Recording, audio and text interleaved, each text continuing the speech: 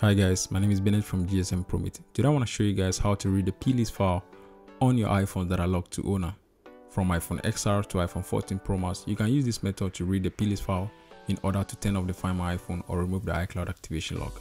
I'll use this phone as an example to show you guys how to read the plist file on your iPhone in order to order the iCloud activation lock. Before we dive into the video, if you are new to this channel, this is an online tech support platform where you can simply and effortlessly get solutions to your locked devices.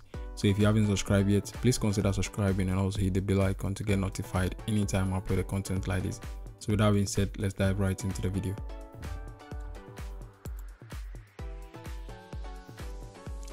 Okay, so to read the plist file on your device, you need a token reader. As you can see in the video, I just launched the token reader and then you connect your device in normal mode. You connect it on hello screen mode or in normal mode and you just click on read token. And then that's all. It will automatically extract or read the token or the plist file from your device and save it.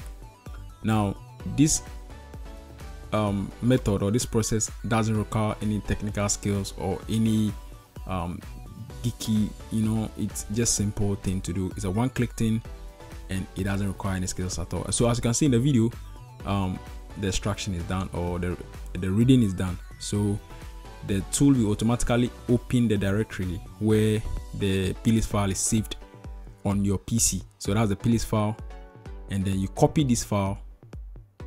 Do not edit the file. Just copy the file, right click, copy the file and then send the file to GSM Promit on Telegram or you can send it to GSM Promit support. That's a group or you send it directly to me on GSM Promit and then we will process the unlocking for you. I'll leave the link to the Telegram group or um, the, my Telegram handle in the description below. Thank you guys. See you in my next video.